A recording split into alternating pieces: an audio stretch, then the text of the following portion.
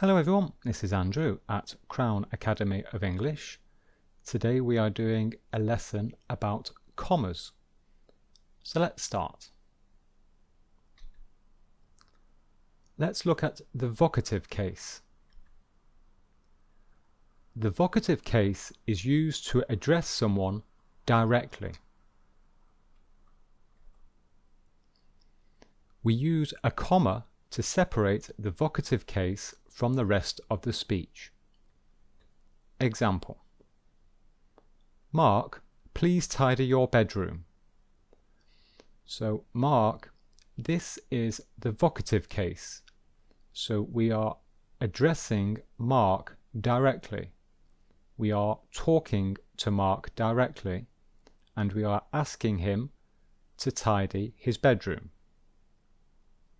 And so we use the comma to separate the vocative case from the rest of the speech. And we can also put the person at the end of the sentence. Please tidy your bedroom, Mark. Please tidy your bedroom, Mark. So this is exactly the same as this. So the meaning is the same. And so here we can see the comma at the end of the speech and before the vocative case. Notice how we write a comma. It is a very small diagonal line at the bottom of the letter, at the bottom of the line. It is in fact on the line. And after the comma, there is a space before the next letter. And here is an example to show the real importance of commas.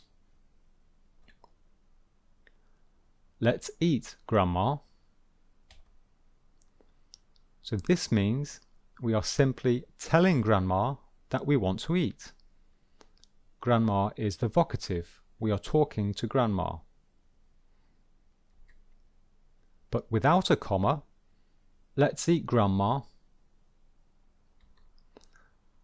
And in fact, this means that we are going to eat grandma. so as you can see, the meaning is very different. Um, this is grammatically correct, but the meaning is completely different. So commas are very, very important in English. In fact, we can say commas save lives. So let's carry on.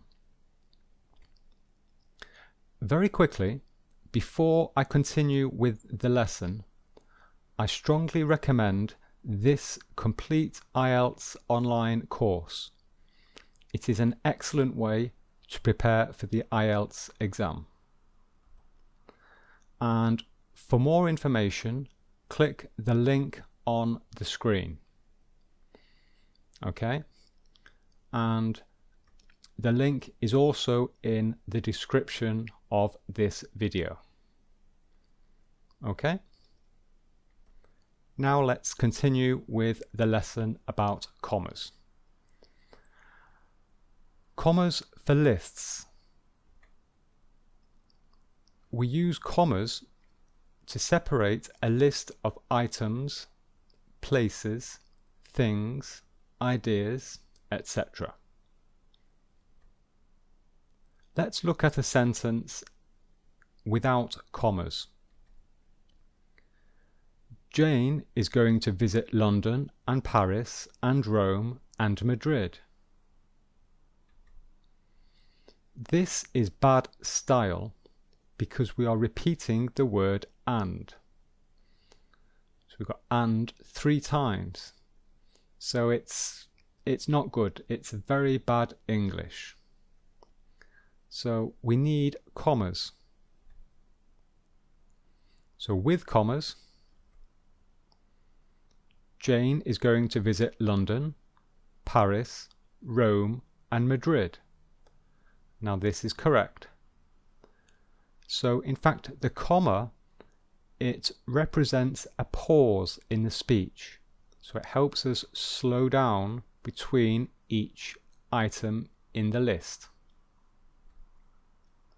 Another example, I played tennis, washed my car and watched TV. The word and separates the last two items in the list. So the last two items in this list are Rome, Madrid. So for these two, we use the word and to separate them. And here, the last two items are washed my car, watched TV, and separates them. So there is no comma before and at the end of the list. Okay, so um, here after Rome, we do not put a comma. Okay, we do not put a comma. And here, um, after car and before and, we do not put a comma. This is a British English rule. This is the style of British English. American English, there is a comma before and at the end of the list. Example in American English. Jane is going to visit London, Paris, Rome, and Madrid. So American English, they do put a comma here. This comma has a special name. It is called the Oxford comma. The Oxford comma. So the general rule is in British English, we do not write the Oxford comma, and the, in American English, they do write an Oxford comma. Adjectives after a noun. We always use commas for three or more adjectives after a noun. The actor is tall, slim, and handsome. So these are the three adjectives, and we treat them exactly like a list. So it's the same rules for the list we have um, a comma here. We have the word and for the last two items, and there's no comma. Okay, so this is for adjectives after a noun. Adjectives before a noun. When the order of the adjectives before a noun is not fixed, we use commas.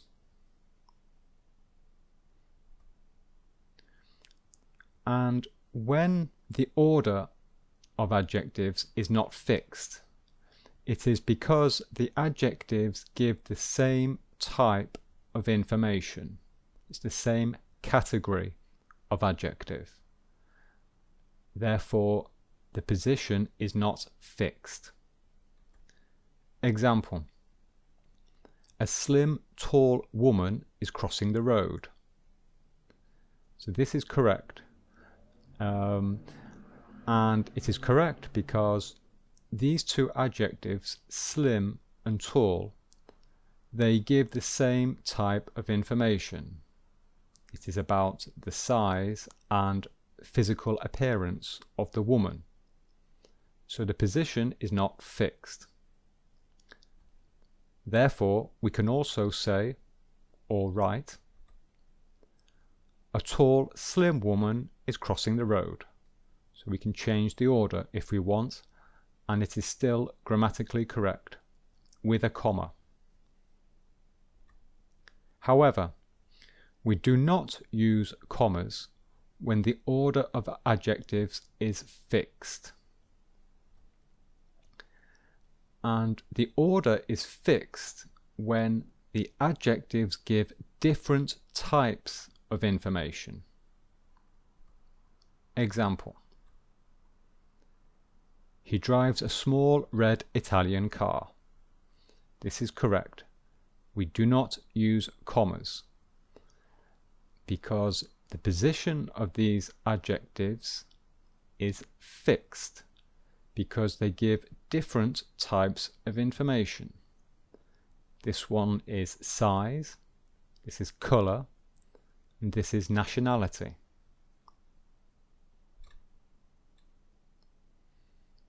So this is wrong. This is wrong because we have used commas here.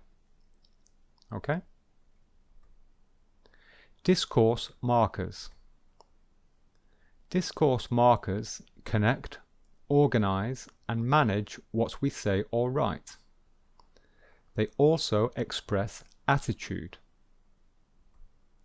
Here are some common examples. Anyway, well, firstly, furthermore, in addition, in conclusion, moreover, surprisingly. And we usually use a comma after a discourse marker at the start of a sentence. Example. Anyway, I'm too tired to go out tonight. So after anyway, there is a comma to represent a pause before the rest of the sentence. Surprisingly, Mark failed his driving test. Again, we have a comma here. And notice how surprisingly this word expresses attitude. It expresses the attitude of the person speaking it tells us that our attitude is that we are surprised that Mark failed his driving test. Perhaps we were expecting him to pass the driving test. So it expresses attitude. Non defining relative clauses. Oxford Street which is in London, is closed today. Notice how I paused when I said street. I said Oxford Street, which is in London, is closed today. So there was a pause here and a pause here. Which is in London is a non defining relative clause. it gives us non-essential information about Oxford Street. So it is telling us that Oxford Street is in London. But the main sentence is Oxford Street is closed today. Therefore, we separate the clause from the main sentence with commas. Direct speech very important for commas. Mark said, I am going to London. So here is a comma. So the rule is if the reporting clause is before the direct speech, then we write a comma before the direct speech. So this is the reporting clause. Mark said. If this is at the beginning, then we write a comma before the direct speech here. I am going to New York, Jane said. If the reporting clause is after the direct speech, if it is here, then we write a comma before the closing inverted commas. So the comma is here. It is at the end of the direct speech before the in inverted comma. Okay? conditionals starting with if clauses. We use commas for conditionals that start with an if clause. Example. If it rains, I will take my umbrella. So we have an if clause at the start of a sentence at the start of the conditional. Therefore, we must separate it with a comma. But we do not use commas for conditionals that end with an if clause. So we can also say, I will take my umbrella if it rains. So this time we have decided to write the if clause at the end of the sentence. And in this case, we do not write a comma. So this is correct. And of course, this is correct also. To emphasize contrast, we use commas to emphasize a contrasting idea or subject. The comma forces a pause. And the pause helps us to separate contrasting ideas. Words that often express contrast are words like unlike, never, not, and there are many others. Mark unlike Jane, is a fast runner. So this means that Mark is a fast runner, but Jane is not a fast runner.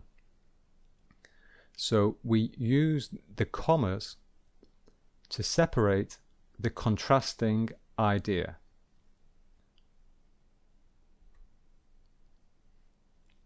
This is my phone, not yours do, do you hear the pause?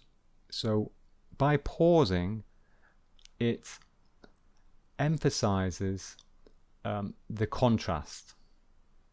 This is my phone, not yours.